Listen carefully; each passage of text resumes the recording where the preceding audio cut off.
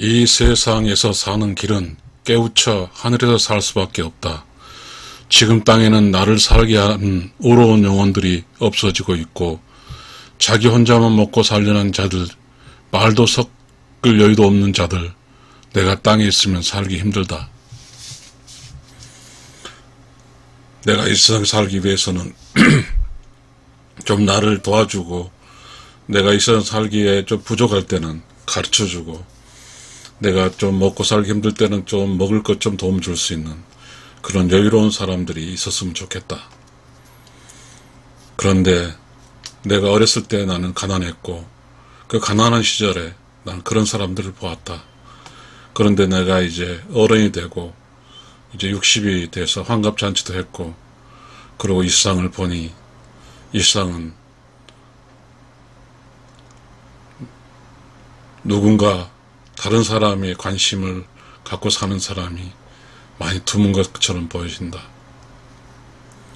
나는 지금 나의 가족과 그 나의 아내와 나의 친구들과 그렇게 살고 있다. 나는 직장에서 이제 명예퇴직을 했기 때문에 나는 직장은 없다. 직장에서 직장 나름대로 힘들었고 지금 이제 집에 와서 사는데 이 집에 와서 사는 것도 결코 만만치가 않다. 세상에는 도리랑 인간의 도리가 있는데 인간의 도리는 사람과 사람끼리 만났을 때 서로 부딪히지 않고 양보하고 그래서 안전, 안전선을 더 두텁게 해주는 그런 애절, 도덕, 그런 것이 있었는데 지금 그 안전성이 너무 얇다. 만나면 서로 인사하고 안녕하세요, 식사하셨어요 하고 할 수 있는 여유도 있었는데 지금 그런 여유들이 전혀 없다.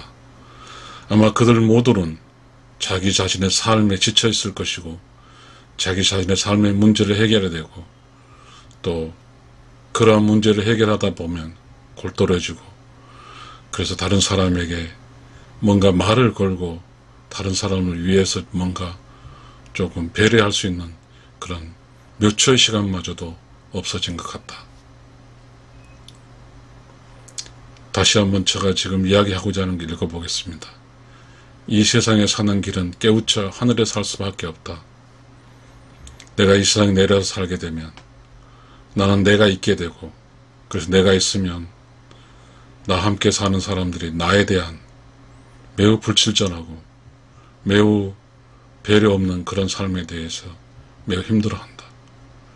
그러나 내가 이 세상을 사는 길을 이 세상 사는 길을 깨우쳐 하늘에 살 수밖에 없으면 내가 하늘에 살게 되면 나는 모아의 모아의 시대에 모아의 곳에 살게 된다. 내가 없는 곳에 살게 되었어. 난미 번유 이렇게 살게 되었어. 아무리 그 주변 나와 함께 산 사람들이 나를 힘들게 해도 내가 없으니 그 힘든 것은 나하고 관계가 없는 것이다.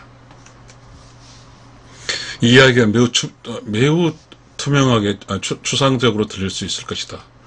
그러나 지금 우리가 살고 있는 이 땅에서는 정말 무수무시한 사건들이 많이 발생하고 있다. 사람이 태어나서 짝을 만나서 살아가는 이 일마저도 쉽지가 않다. 짝을 만나서 살아, 만나 처음 만나서 끝까지 100년 해로할 수 있는 짝이 그리 많지 않기 때문이다. 그건 왜 그럴까? 짝들, 뭐, 짝으로 사는 그 짝이 그 짝으로부터 살기가 힘들어지기 때문에 그 짝으로부터 벗어나려 하는 것이 아닐까? 라는 생각이 든다. 왜 짝끼리 이렇게 좀 내, 내하고 사는 짝을, 짝이 나에게 잘 살 수 있는 그런 내가 되지 못할까? 그래서 내가 나하고 사는 짝이 살 수 있게 하기 위해서 나는 이 세상에 사는 길을 깨우쳐 하늘에서 살 수밖에 없다. 나는 나의 짝과 살 때 나는 하늘에서 산다.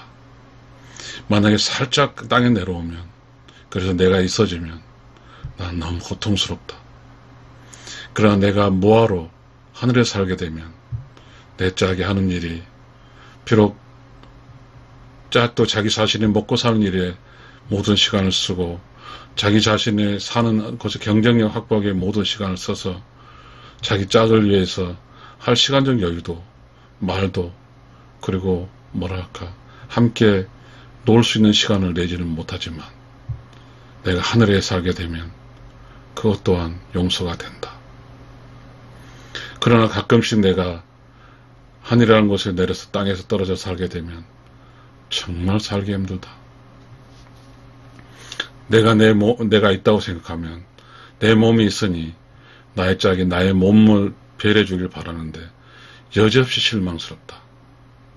나는 그래서 이 세상에 사는 길을 깨우쳐 하늘에서, 하늘에서 살 수밖에 없다. 나는 이 세상에 태어나서 나는 어려운 영혼 세계에 돌아갈 때까지 나는 나의 짝과 재밌고 신나고 즐겁게 지내고 싶다.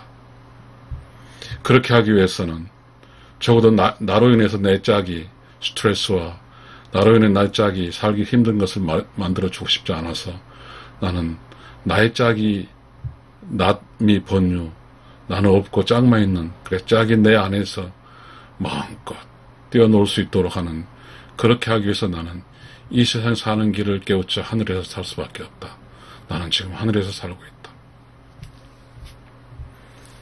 지금 이렇게 깨달은 사람이 하늘에 살아주면 깨닫지 못하고 먹고 살기, 자신의 먹고 살기 위해서 경쟁에 이기기 위해서 수많은 자기 시간, 모든 시간을 자기 짝에게는 쓰지 못하고 거의 어떤 밖에 쓰는 그런 짝을 볼 때 그 짝을 내가 이 세상에 사는 길을 깨우쳐 하늘에 살게 되면 충분히 이해가 된다.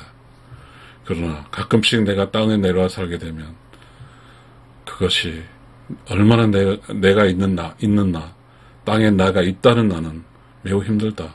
왜냐하면 짝이 나에게, 나의 짝인데, 진정한 짝에게 해줄 수 있는 여유도, 그리고 기술도, 그리고 매너도, 그리고 애절도 없기 때문이다. 아마도, 아마도 내가 살고 있는 곳에 그렇게 많은 이혼율이 많은 것은 그렇지 않을까 싶다. 깨닫지 못한 사람이 땅에 살다 보면 살 수가 없다. 둘 다 모두 자신의 일만 신경 쓰지 자기 짝을 위해서 신경을 못 쓰니까. 결혼해서 산다고 하는 것 분명히 자기 짝이 있는데 자기 짝이 얼마나 소중한데 자기 짝을 위해서 뭔가 조금 배려하고 뭔가 잘해주려는 시간과 여유를 갖지 못하고 사는 이 삶이 안타깝기만 하다.